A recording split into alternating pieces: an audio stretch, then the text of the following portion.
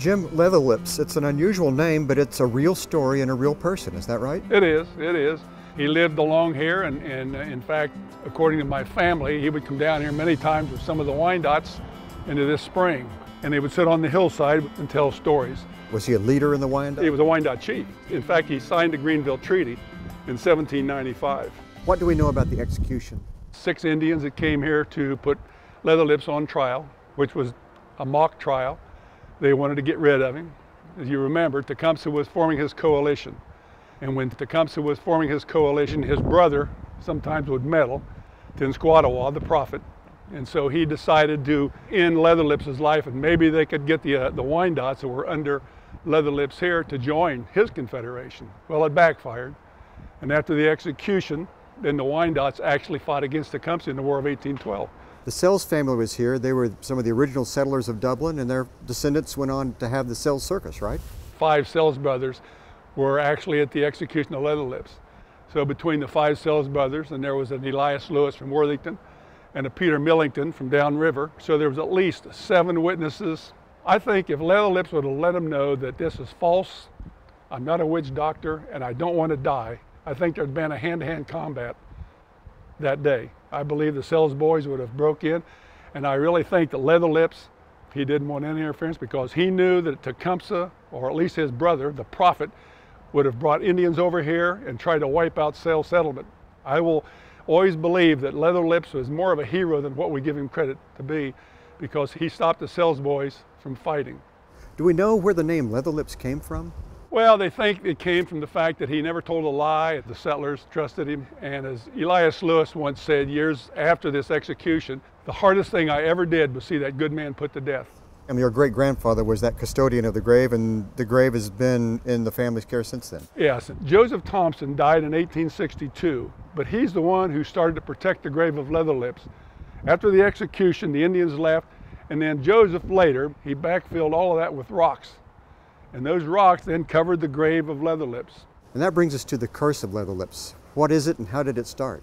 After Leatherlips was executed and the grave was taken care of, okay, we also had a son of Joseph named Samuel. And so they formed a club in Columbus and it was called the Wyandot Club. It was a group of gentlemen that loved history. This membership club got so excited they voted to put the monument, which is up there now. Now this was when it was still nothing more than just a pile of rocks in the woods. They decided to clean the area up and when they did, they accidentally uncovered the remains of Leatherlips. They had to lower those remains now down to a proper depth.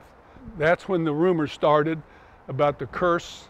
Well, it's a fascinating story, and it seems like the more we learn about Leatherlips, the more there is to find out. So thanks for sharing your family story with us.